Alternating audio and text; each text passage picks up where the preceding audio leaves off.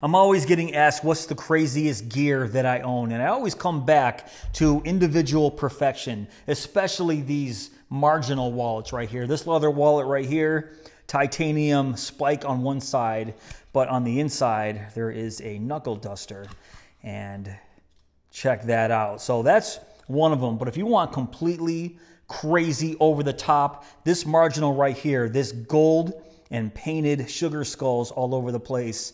You have the individual perfection in gold foil right there, but on the inside, you have two built-in knuckle dusters. So this is one of the craziest wallets that I own, but some of the craziest gear that I owned, This marginal wallet from Individual Perfection.